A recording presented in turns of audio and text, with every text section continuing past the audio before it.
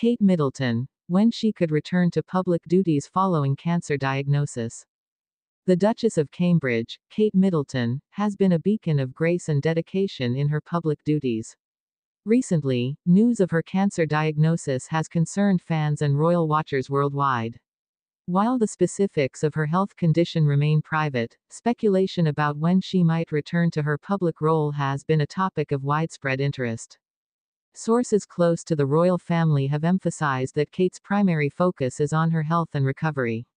The Duchess, known for her resilience and commitment, is receiving the best possible care and support from her family, including Prince William and their three children, George, Charlotte, and Louis. Medical experts and royal commentators suggest that the timeline for Kate's return to public duties will depend largely on her treatment and recovery process. Typically, cancer treatment can vary greatly depending on the type and stage of the disease, encompassing options like surgery, chemotherapy, radiation, or a combination of these. A royal insider mentioned, the Duchess is determined to fight this with her characteristic strength and grace. While she is eager to resume her public duties, her health is the utmost priority. She has the full support of the royal family and is taking things one step at a time.